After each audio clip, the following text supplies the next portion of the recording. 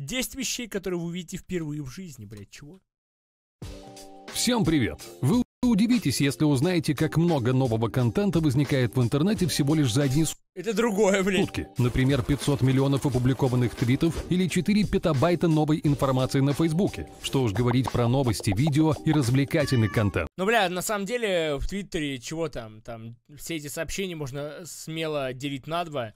Половина сообщения то, что женщины лучше мужчин, а второе сообщение то, что Путин отстой. Два, два типа сообщений, блядь. Можно, можно, можно просто, можно просто делить, делить на два, и все будет окей. Из-за столь оживленного информационного фона мы с вами ежедневно потребляем в разы больше знаний, чем наши предки. И, конечно, можно подумать, что вы со своим опытом зависания в сети уже видели все. Но поверьте, на просторах интернета еще есть вещи, которые вас удивят. Сегодня мы поговорим как раз о них. Поехали!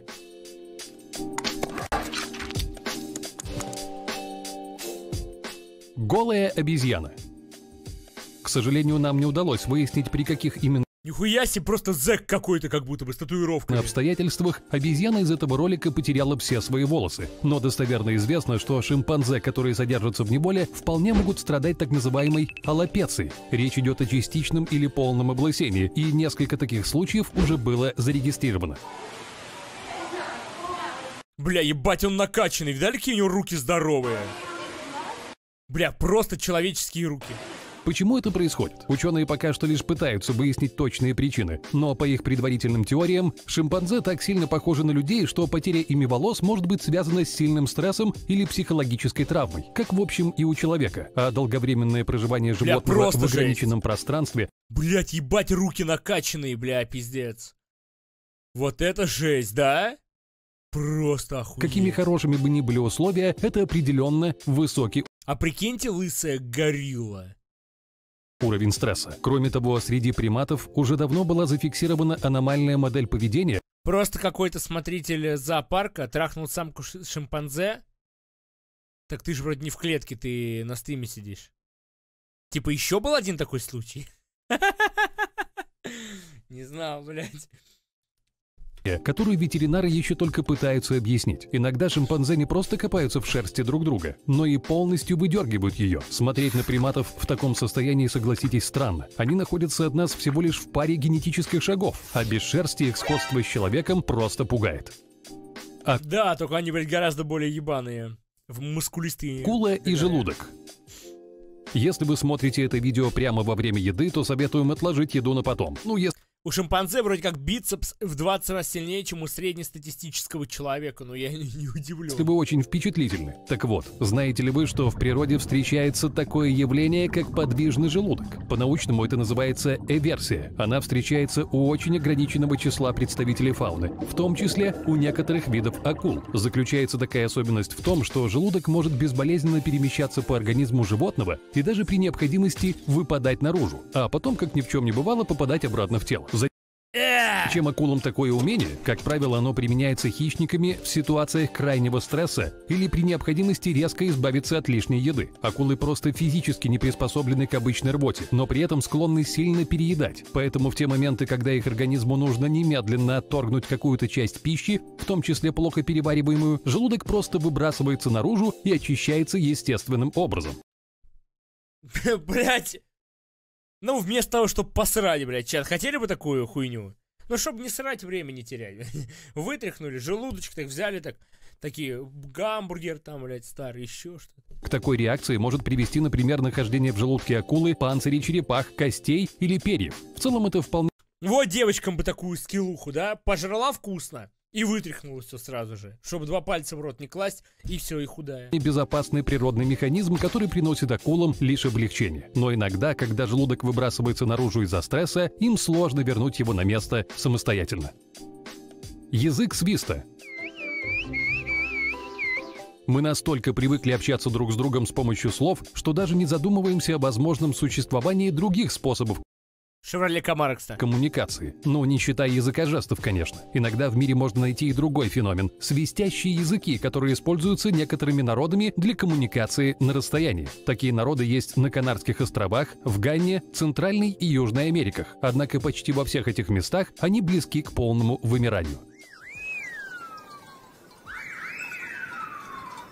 Еще одно место Ебануться, блядь, общаться так на самом на деле. планете, где используется язык свиста, это турецкая горная деревня Кушкё. О наличии здесь такого типа коммуникации ученые узнали в 60-х годах прошлого века, когда им владел почти каждый житель. Сегодня им владеет лишь каждый второй. Ведь появление портативных средств связи в наших жизнях уже решило проблему общения на расстоянии. Предание гласит, что язык, который жители деревни Кушкё называют птичьим, передается от отца к сыну уже много столетий. Некоторые историки считают, что он был придуман горцами во время военных столкновений. Другие же говорят, что язык свиста был принесен сюда испанскими иммигрантами во времена Инквизиции. Но, скорее всего, необычный способ коммуникации – это все-таки собственное изобретение местных пастухов. Надо же им было как-то общаться в дотелефонную эпоху в местности со столь сложным горным рельефом. Кстати, Ну один интересный факт. Язык свиста Да, пальцы во рту, в говне покопался, блядь, там все сделал, нахуй, все, и пальцы в рот. Плюс глисты, блядь. Потом у тебя бычий цепень, нахуй, вот такой, блядь, просто из жопы вылазит, блядь, и захватывает твою хату. Рейдерским захватом просто такой.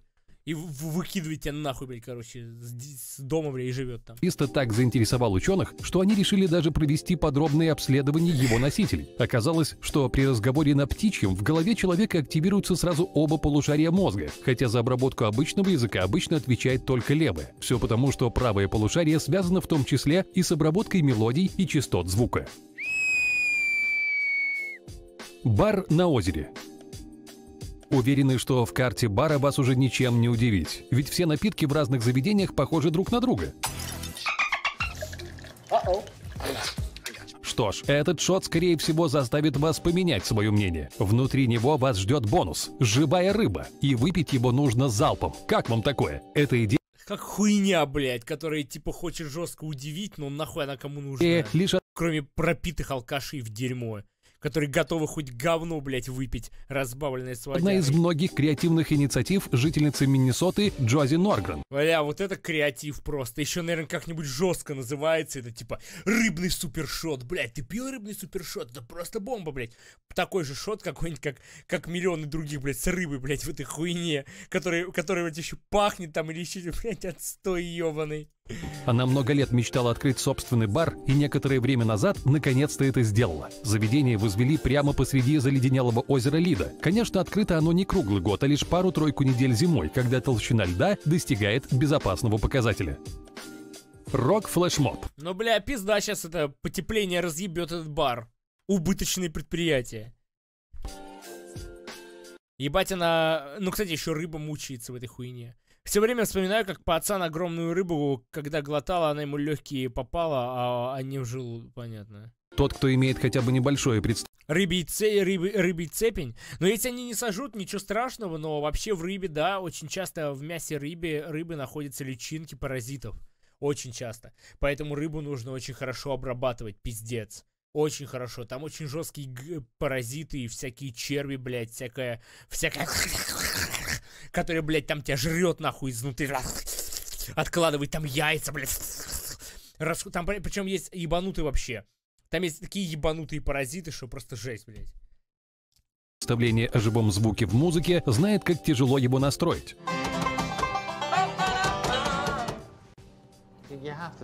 Порой на саундчеке перед концертом уходят долгие часы. То бочка у барабанщика звучит не так, то бас громче всех остальных гитар, то Как и в мясе. Как и в мясе. инструменты заглушают вокал. Короче говоря, отстроить звук даже для одной группы из четырех человек не так-то просто. А теперь представьте, если таких групп будет в 200 раз больше, и все они будут играть одновременно один и тот же трек. Кажется невозможным? Вовсе нет. Такой флешмоб уже существует.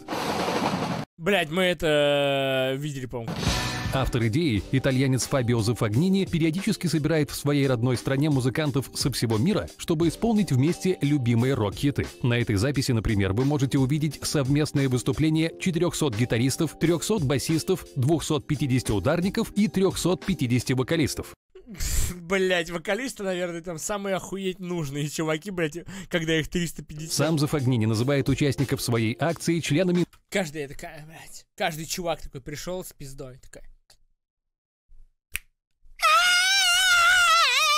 Это, а, а вообще, блядь, там нихуя непонятно, потому что 350 чуваков поют одновременно, блядь, ты можешь там хоть пердеть жопой, блядь, э, в этот микрофон, и ничего не будет, блядь.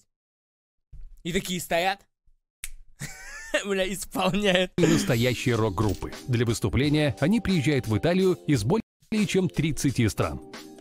Вещи из рыбы.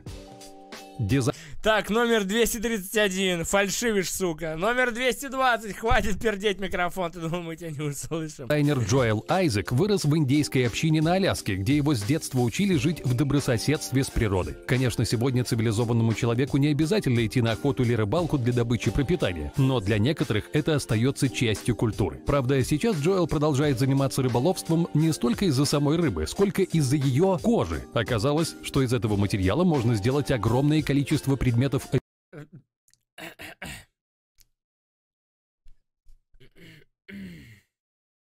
Не, ну чё, к пивку так-то нормально, блядь. Если, если не покупать э, женщине туфли, то только такие. Лучше. Приглашаешь своих друзей, приглашаешь своих друзей, значит, а у вас кончились закуски. Но ебать, блядь, туфли жены под рукой.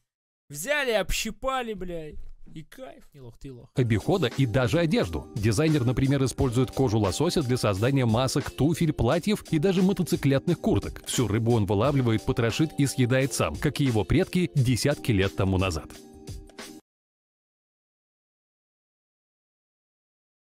Школа на воде.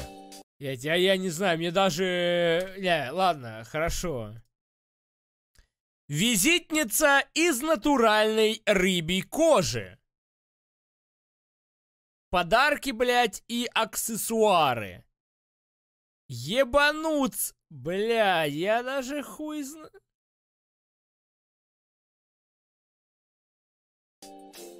Каждый год более одной пятой территории Бангладеш подвергается чудовищным наводнениям. В те моменты, когда вода размывает и без того плохие дороги, жизнь многих поселений замирает, в том числе останавливается и обучение в школах. Местный предприниматель Мохаммед Резван которого ненавидят все дети из той страны, потому что ему удалось забрать выходные, построив ебучую школу на воде. Дети радовались. Наводнение, ура! Как вторые каникулы. Но тут приходит какой-то, блядь, хуй очкастый. И говорит, спокуха, я настолько богат, что отъебашу вам школу прям вот на воде. Будет плавать. Вызвался найти решение этой проблемы и подумал, если дети не могут доехать до школы, то почему она не может доехать до них? Тогда у него и появились первые планы по строительству плавучего образовательного заведения. По сути, оно представляет собой сеть лодок, которые являются одновременно и школьными автобусами, и комнатами для уроков. Учиться в них могут школьники от 6 до 10 лет. Внутри необычных лодок компьютеры, питающиеся солнечной энергией от панелей на крыше, сотни книг и Честно говоря, выглядит очень хрупко. Настоящие школьные доски. На некоторых судах даже есть игровые комнаты с горками, турниками и качелями. Кстати, вечером здесь также проводят занятия для взрослых. Например, про то, как защитить свой урожай в случае резкого повышения уровня воды в регионе. Гениально, правда? Да, на- наверное. Почта в горах. Оказывается, в мире есть невероятно оригинальные почтовые сооружения. Вот, например, почтовая будка, расположенная в высокогорной деревне Хиким, прямо посреди Гималая. Бля, ребят, наша деревня, дерев- деревня Хиков, блядь. Мы поставили, поставили почтовое отделение, мы, мы в горе, блядь, построили, на горе. Чтоб, блядь, с нами хоть какая-то связь была. Чисто сидим на горе, играем в компьютер, блядь. на высоте почти 4,5 тысячи Ебать, вот там сабы живут, вот там сабы живут. Это моя вилла. Не, моя вилла вот в самом верху, блядь. Да, это сам. Нормально, с ним, блядь, играем. По сетке, блядь, все. По локалке, по локалке, блядь. Пинг ноль, нахуй. метров. Здесь не работает мобильная связь и не подключается интернет. Но пись... А, нет, это не наша деревня, какая-то другая деревня. Это перепутали, это не наша деревня, не. Мы в такой деревне не живем. У нас другая деревня. Перепутал чат, они просто похожи. Не-не-не, другая деревня. приходят и отправляются исправно. Все благодаря Ринчину Черингу, который работает здесь каждый день, начиная с далекого 1983 года. В то время парня посчитали самым образованным среди жителей деревни, которая состоит из около 30 домов. Кстати, в его задачи входит не только корреспонденция. Он также выдает жителям поселения паспорта и даже хранит у себя их денежные накопления и драгоценности. Блин, ни хрена. Картины в таблицах. На неплохо устроил. Давайте будем честны. Только зачем отдавать этому чуваку на хранение драгоценности, когда это просто чувак? Я в плане того, что его же просто одного ограбят и все, блядь. Типа, в чем прикол? Никто не любит составлять таблицы в Excel. Ну, только если вы не по-настоящему влюбленный в свою работу бухгалтер. Но вообще разбираться с Когда деньги будут э, тимис, химис, кумасмис. формулами и интерфейсом этой программы, то еще испытание, особенно для гуманитариев. Оказалось, что мы сильно недооцениваем этот инструмент. На нем можно составлять вовсе не только скучные годовые отчеты. В это сложно поверить, На- но и В это сложно поверить, но в Excel-таблице отлично можно записать аниме-аукцион. Не только э, кто выкупил, когда выкупил, но еще и какой title там будет. А если вы умеете владеть Excel экспертно, вы можете э, оценки там ставить. О, да. Японец Тацуо Хариучи использует Excel для творчества. После ухода на пенсию 20 лет назад мужчина решил попробовать себя в искусстве, но тратиться на дорогостоящие краски и кисти ему не хотелось. Тогда он решил проверить, а можно ли писать картины с помощью программ, установленных у него на компьютере. Paint Хариучи не понравился, так как показался слишком примитивным, а вот Excel показался вполне подходящим. Результат этой идеи вы видите на экране. Используя простые векторные инструменты, разработанные в первую очередь для построения графиков, Хариучи рисует панорамы японской сельской жизни. И на первый взгляд, ну очень сложно поверить, что они сделаны не в графическом редакторе. Ну, бля, это выглядит, ну так себе. Сделаны не в Вот это выглядит прикольно. Вот это выглядит красиво, да. а, графическом редакторе. ну, такое. Ну, Бегун Прикольно, бля, старику просто хуйней страдает. Учитывая, сколько у него картин там стоит за ним, он нихуя продать не может. Но неважно, все равно прикольно. наоборот. Когда машина едет задним ходом, в этом есть логика. Иногда это просто необходимо. Но зачем человеку бежать спиной вперед, кроме как в качестве специфического упражнения на какой-то тренировке? Оказывается, и этому может быть объяснение. Аарон Йодер бегал всю свою жизнь, но в какой-то момент получил серьезную травму колена. Увы, участвовать в забегах и активных тренировках спортсмен больше не мог. Но и полностью исключать бег из собственной жизни ему не хотелось. Как разрешить эту дилемму? Ответ появился неожиданно. Однажды Аарон совершенно случайно обнаружил, что при беге задним ходом его травмированное колено не испытывает совершенно никакого напряжения. С тех пор спортсмен полностью перешел на этот вид физической активности и сегодня считается рекордсменом по самому быстрому бегу спиной вперед во всем мире.